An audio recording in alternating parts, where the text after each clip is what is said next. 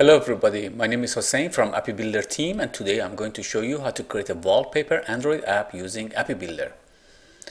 For this tutorial, I'm assuming that you're already familiar with Appy Builder and if you're not, don't worry about it. Just head on to community.appybuilder.com where you're going to find tons of tutorials and great discussions and you can even post questions and our helpful community members will be able to provide an answer. So let's go and sign in to gold.appybuilder.com. If you haven't used this platform, this is the platform that allows you to build applications and you can just use your Google account to sign in for the first time. Okay, you'll notice that this is the layout that we're going to be creating. Basically, we have a series of the buttons here that allow you to change the wallpaper. Um, the buttons we have uh, picked up from here, the button and text box from the, the user interface category button and uh, the text box that right down here. And uh, where is the text box right there?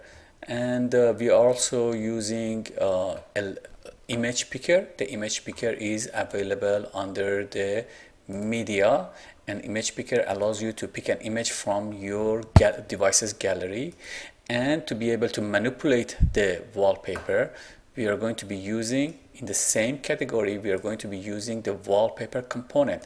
And as you notice the help here it says that it's a non-visible component that provides access to the system wallpaper. And with this component it lets you basically do stuff such as uh, changing the wallpaper or accessing the wallpaper. It is a non-visible component meaning that when you drop it uh, it goes right below the uh, layout that you see right here. And non-visible components they don't have a visual interface but they can carry on uh, commands that you code for it. So let's see how to use this. Again we are assuming that you already have experience basic experience with uh, building applications using AppyBuilder. So the very first thing we want to do is be, be, able just to click on this button and change the picture to an image from the asset. And for this, we have uploaded using this uh, upload feature here. We have uploaded a picture of a cat called kitty.png. Okay. So let's go to the blocks editor. Blocks editor is where we do our coding here. So in the blocks editor, any component that you have dropped into the design editor will be available. And if I select this wallpaper manager uh, component, the flyout, you will see that there is basically three different uh, blocks as of current.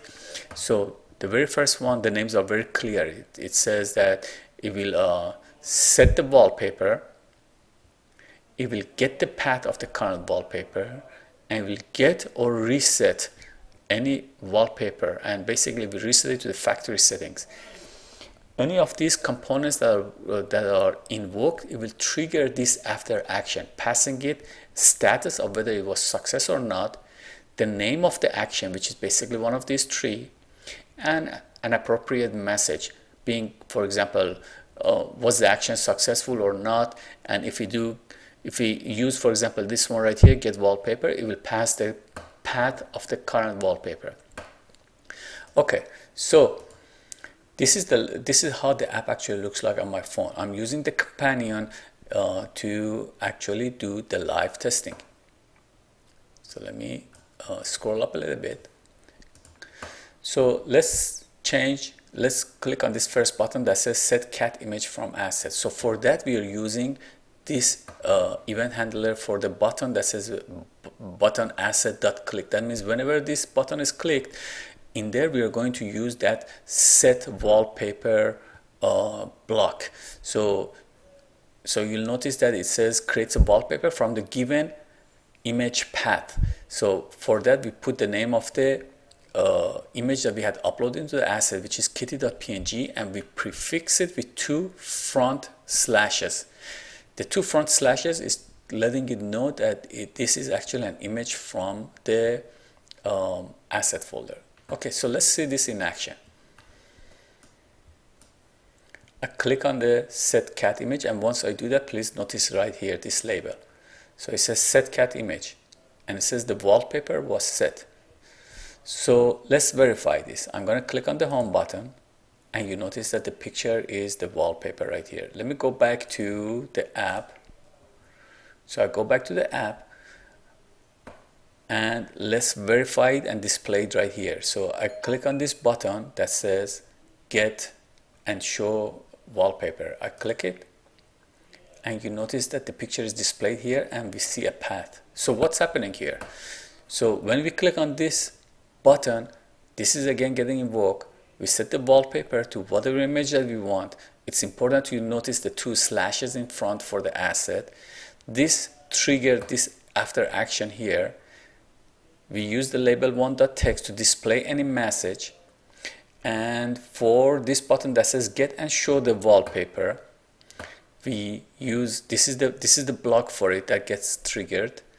We use a simple block that says get wallpaper. So this invokes uh, the uh, the background code. It gets the path of the current wallpaper. And again it invokes this after action passing it the status. And the message in this case will be this path right there.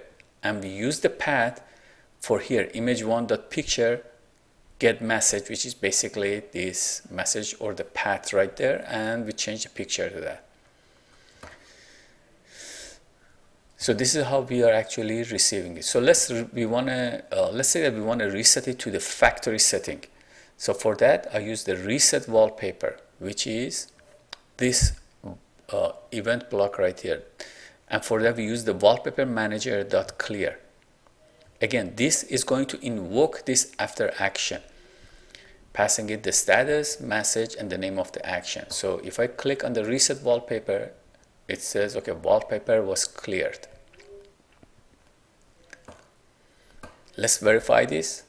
I click on the home button and you notice that the wallpaper the old wallpaper is gone. I go back to the app now I want to display the wallpaper again. I use the get and show wallpaper, which is this one right there. Click it and the wallpaper shows here. It is that simple.